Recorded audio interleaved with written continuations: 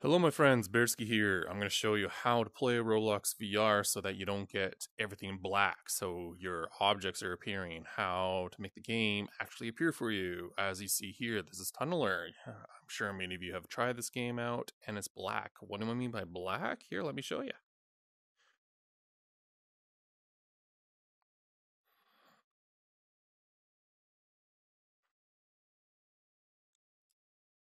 There you go boot up a game, there's a Roblox VR. If you, a lot of games are going to look like this.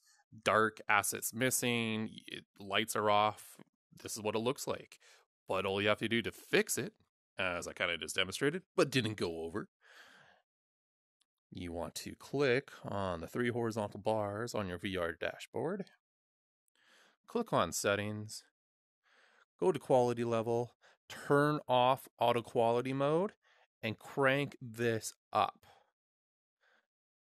Crank it up to 10. Eh, see if the game handles it. If you have, don't have any lag, keep it on 10. If not, drop drop it down a bit. See where that sweet spot is. See, going down to three. Uh, usually five. Five is the default, but it's not good enough. You got to crank it up. I would say probably around eight is going to be the one that you want to stick with. And that's it.